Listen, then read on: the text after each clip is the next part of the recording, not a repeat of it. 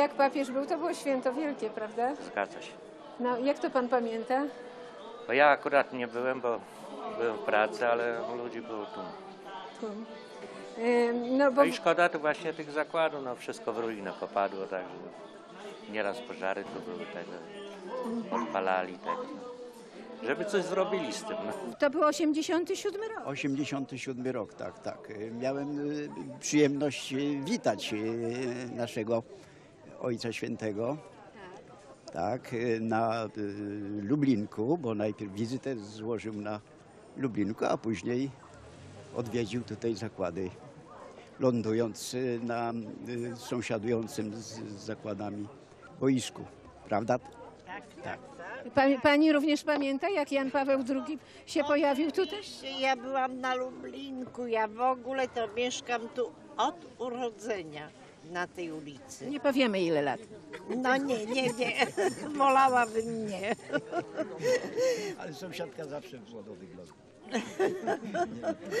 Także pamiętam, jak Ojciec Święty był, byłam na Lublinku, byłam tutaj w Unionteksie był papież. Także przeżyłam bardzo te chwile, mile i duchowo. Pragnę pobłogosławić Wasze całe powołanie, na które składa się i dom, rodzina, małżeństwo, dzieci i praca razem. Taki jest styl życia naszej epoki.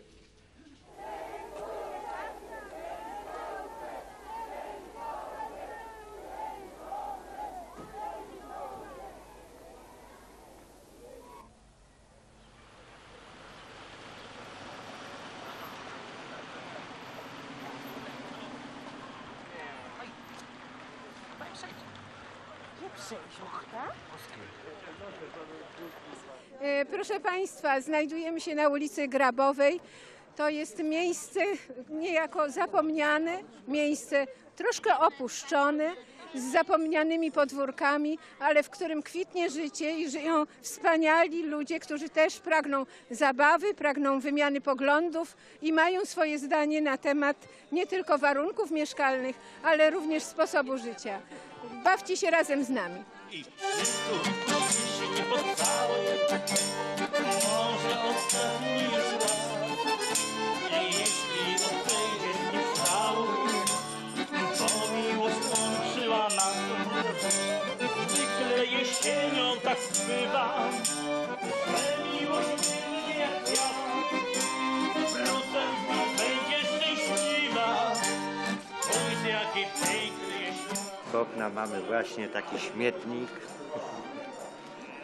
To Wszystko tu wchodzi, załatwia się tak dalej, i tak dalej.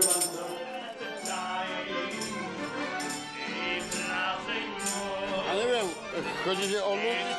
piłkają, czarowne tango grają, za taką grę dam ci serce swe. Powiedzcie taki chleb ze smalcem, jak się wsuwa. Super. Wiejskie jedzenie, podwórkowe, no. Tylko nie ma co się napić. Bo by tu pani miała gości chyba dużo więcej. No ale jest orkiestra, No. dobry nastrój. Tak jest, to wystarczy. No. Tak. E, e, Ewuniu, mieszkasz tu już ile? 68 lat. Jak to było kiedyś? Jak wyglądała Grabowa kiedyś? To znaczy ona się może y, fizycznie nie zmieniła, bo takie domy jak są, nic nie dobudowane, ale zmieniło się to, że nie ma tak zwanych rynsztoków, które płynęły, nie ma tych wozów, które przyjeżdżały, chłopi przyjeżdżali z wozami, na wozach się wszystko kupowało, konie stały cały dzień, miały te torby zawieszone z tymi obrokami, podchodziło się, no było zupełnie inaczej, było pełno takich małych sklepiczków, gdzie się kupowało cukierki, jakieś inne rzeczy, każdy na kredyt można było wziąć, jak dziecko nie miało pieniędzy. Później rodzice oddawali, na milionową się chodziło, jeździło się na rowerze, tam nie było tej trawy, nie było tego, był taki płot drewniany, no było, tak było jak to lata 50., początek lat 50., no taki, taki wszystko w starym stylu. Domy się nic, no okna się tylko pozmieniały, no bo wiadomo, że z tych starych już powypadają, muszą być nowe, ale tak to w sumie, ta grabowa taka jaka była, taka jest. Tak mnie się wydaje przynajmniej, no. Żyję tyle lat i, i nie mam zamiaru się stąd wyprowadzić nigdzie. Co tu jest takiego genialnego? To jest Mekka Górnej, no, można powiedzieć. Tu jest dobre towarzystwo? Tak? E, czy dobre towarzystwo? Na akurat ja tutaj do dziewczyny przyjechałem, ale tutaj mam dziewczynę i, no i tutaj jest, no, okej, no. To jest stara Łódź, no. To jest historia. Czegokolwiek, no. I się tutaj, czuję tutaj jak no, u siebie, no. Wiadomo, nie? Jest pięknie, no. Chociaż wiadomo, no, fizycznie to nie wygląda ładnie, aczkolwiek w sercu jest to właśnie to. Stara Łódź. Coś pięknego. Przyniósł pan jakieś pamiątki domowe, pamiątki ulicy czy pamiątki rodzinne? No ja jestem może takim trochę nietypowym mieszkańcem Grabowej, dlatego że tutaj mieszkam dopiero od y, 10 lat. Natomiast y, mieszkam w kamienicy, która kiedyś należała do moich dziadków. Y, tutaj mam stary album. Akurat tak się złożyło szczęśliwie, czy może nieszczęśliwie, że moja babcia była najmłodsza w rodzinie i moja mama też była najmłodsza w rodzinie. W związku z tym y, no, mnie przekazano y, te różne stare zdjęcia, stare dokumenty. E, i pewnie już pokolenie następne by tego nie, do tego nie dotarło. E, To są moi dziadkowie, czyli właściciele tej kamienicy, którą mamy e, z tyłu. No może w tej chwili nie jest ona, nie ma ona jakiegoś imponującego wyglądu z zewnątrz, natomiast, ma, ma piętno starości, piętno tamtych czasów. e, natomiast w środku jest rzeczywiście e, odnowiona, są wyremontowane wszystkie e, piony kanalizacyjne, instalacja gazowa, elektryczna, to wszystko jest nowe. Dach mamy najładniejszy w całej okolicy, też zrobiony. Natomiast tak jak wyglądała ta kamienica kiedyś, mogę pokazać tutaj, bo mam plan, projekty jeszcze z czasów y, carskich. To jest wszystko pisane po rosyjsku. No tak, bo to był zabór rosyjski, prawda? To był zabór rosyjski i tutaj mam projekt, jak to powinno wyglądać. Bardzo bym chciał, żeby to tak wyglądało teraz, ale no niestety środki finansowe na to nie pozwalają. To, co mnie tutaj fascynuje, to to, że wszystkie napisy pisane y, no pewnie jakimś atramentem do dzisiaj się przechowały, że to jest zachowane, że to nie, nie, nie wyblakło. Proszę Państwa, prawdziwy rarytas. Mamy przed sobą dokumenty związane z początkiem istnienia tych kamienic z roku 1905. Yy, Także nawet archiwa chyba łódzkie nie posiadają tych dokumentów, które są w prywatnych rękach. Być może dzięki temu my mamy do nich teraz bezpośredni dostęp. Yy, I yy, tutaj w języku rosyjskim yy, widzimy, że one zostały sporządzone i z, bardzo starannie, także możemy nawet zrekonstruować. 1905 rok, 22 stycznia. Tak, czyli te kamienice i to miejsce ma 109 lat, proszę Państwa. E, Tutaj dalej jest cała rodzina. E, Moja babcia była z domu Musierowicz. Jak historia rodzinna głosi, wszyscy, którzy noszą nazwisko Musierowicz, to musi być rodzina. Dlatego, że kiedyś e, dwóch braci z Litwy przyjechało właśnie o tym nazwisku. E, Natomiast również wszyscy, którzy nazywają się Schulz na terenie Łodzi i okolic, to również musi to być nasza rodzina, dlatego że e, no, oni byli bardzo płodni, bardzo dużo się rozmnażali i e, tutaj właśnie jest mój dziadek, jego brat Karol siostra Marianna i siostra Anna. Za chwilę aerobik podwórkowy, proszę Państwa. Szła dzieweczka do laseczka. Proszę bardzo. A dzieweczka do laseczka, do zielonego,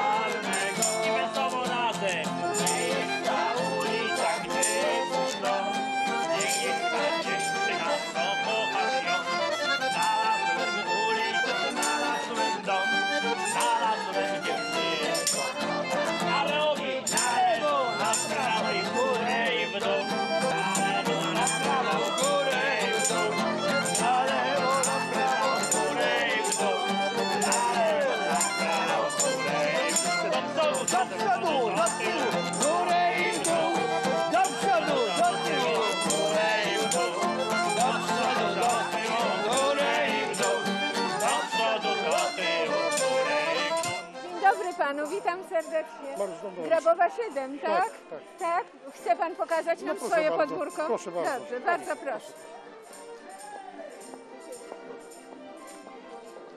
Jak wygląda klatka schodowa? Tak. Maleńkie podwórko. Proszę Kiedy zobaczyć. to był ostatnio remont? Proszę Panią, 38 lat mieszkam i, i takiego remontu jakiegokolwiek, y, można powiedzieć, dużego nie było nigdy.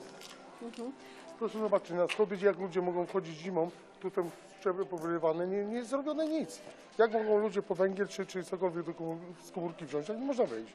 Jest wszystko ublodzone. I Proszę zobaczyć dachy, dachy, które, które nie remontowane są od lat, leje się wszystko do komórek, pozarywane są, to są deski i tak jest, a czynsz wzrasta z roku na rok. To znaczy pań. Państwo płacicie za czynsz, Oczywiście, że tak. I gdzie te pieniądze idą? a ten czynsz jest wysoki? 7,80 z metr, metr kwadratowy. Za, za, za brąz się płaci.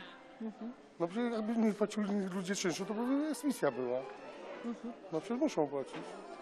No to nie ma mowy, żeby wychodzić na takie podwórko, bo tu no, nie ale ma żadnej po- atmosfery. No, nie ma, Nie ma. nie ma. No miejmy nadzieję, że to ulegnie trochę zmianie. Na trzepaku dzieci No, mamy- się mam, bawią. Ja mam nadzieję, proszę Panią, 38 lat i się nic nie dzieje. Nie malowane klatki. No przecież Pani widzi, jak to jest. No szczur, szczura goni. To jest niby 3 czwarte gminne, a reszta jakichś tam właścicieli, których chyba nie istnieją. Bo nie, nie możemy się dowiedzieć. Ale my płacimy czynsz gminie. I coś, za coś, coś w zamian oczekujemy. A jednak nic. Dach zerwało chyba 10 lat temu, bo była wichura i zerwało dach, to my okna dach na klatce to na swój koszt. I malowaliśmy klatkę schodową na swój koszt, lokatorzy. Czyli jednak lokatorzy coś robią No ze coś swojego... robią, no, no tak. tak, to nie można by było... No, mieszkać. Ja się wstydzę kogokolwiek zaprosić do mieszkania, bo, bo mówią, że oni tu boją się wejść w ogóle, tak, takie są warunki. Proszę sfilmować. Dziękujemy bardzo. No, bardzo proszę. Dziękuję za zaufanie. Dziękuję Dziękuję bardzo. bardzo.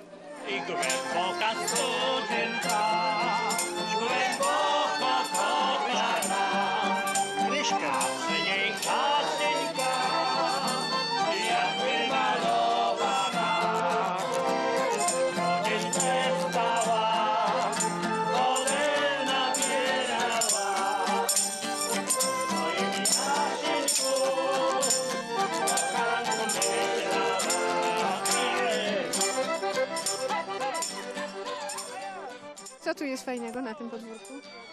No, można powiedzieć, że nic nie jest fajnego.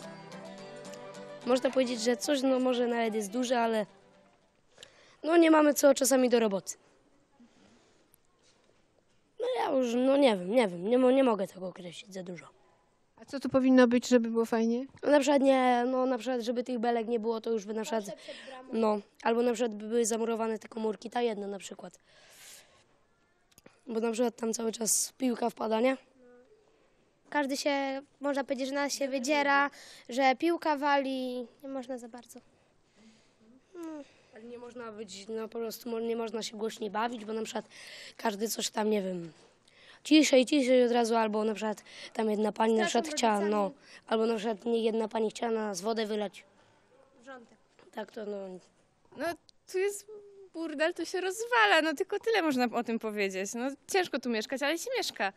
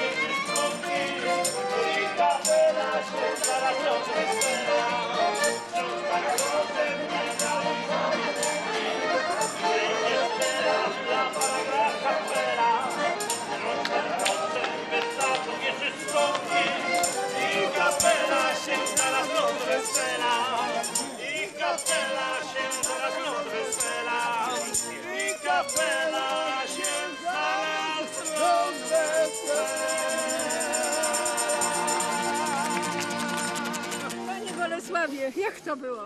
No jeździło się w tej nazad, no. No właśnie, ale tutaj przy Unionteksie też? Też, Tak. też. To były, to było wszystko nasze przecież, nie? Nasze, ludzkie, ludzie tu zarabiali pieniądze.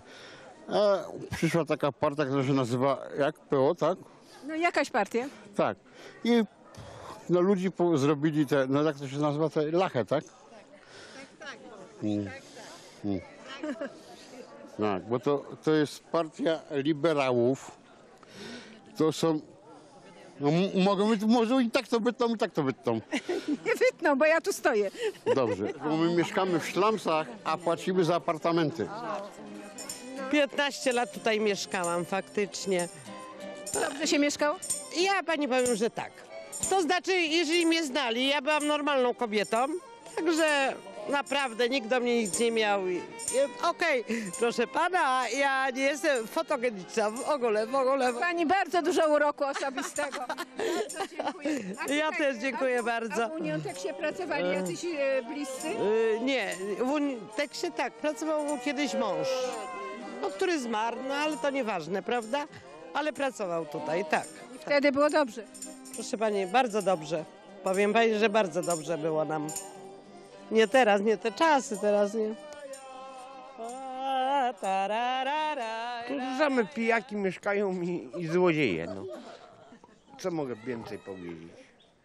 Nic No, w więcej się sumie, nie to, w sumie to dobrze powiedział. No dobrze. Tylko ulica żyje złodziejstwem i tego. No, no. E, Jaką przyszłość widzi pan dla dziecka? No, ja jestem optymistycznie nastawiony, jeśli chodzi o, o, o przyszłość e, dzieci. E, No, widzę, co się dzieje wokół nas tutaj i, i, i partii rządzącej, bo jestem za, że tak powiem, e, za Platformą Obywatelską. Buduje się bardzo dużo, bardzo dużo, to trzeba przyznać. Miejmy nadzieję, że i na Grabowej też się ruszy. Miejmy nadzieję, że na Grabowej się coś ruszy, a tym bardziej tu sąsiadujące nasze zakłady obok, gdzie od kilkunastu lat no, nie, nie, nic się nie dzieje kompletnie, nic. Pani Czesiu, to tak się do pani zwracają, tak? No, pr proszę powiedzieć, jak, jak wyglądają sąsiedzkie kontakty? Ludzie sobie pomagają? Czy... O, bardzo, pomagają sobie bardzo ludzie, wzajemnie. Jak ktoś za dużo ma, to daje drugiej osobie, sąsiadom. Naprawdę, naprawdę. A w- jak jest choroba, czy jakaś... po- ta- To tak samo, to tak samo. Pamięta pani jakiś taki moment? No, pamiętam, pamiętam. Nie jeden moment. Na klatce schodowej pod Grabowa jeden. Tak było. Pomagaliśmy sobie wspólnie. No i, i właśnie, no jak żyć w takiej traumie, bo to przecież ciężko jest żyć. No ciężko, ale ludzie sobie radzą. Po prostu zapominają o bólu, a żyją dniem jutrzejszym, co będzie jutro. Po prostu każdy na własną rękę, prawda? Jak kto woli, według gustu i uznania, według serca. Jak ktoś ma serce, to daje, a jak nie dostaje w zamian nic, to się odwróci. Ale tak nie może być. Trzeba najpierw coś dać, żeby y, coś osiągnąć i żeby potem drugiemu pomóc, prawda? Bo nie to, że się bierze, tylko dać trzeba najpierw. Coś siebie, coś dla ludzi, coś dla dzieci pomóc. Bo różnie bywało, naprawdę różnie.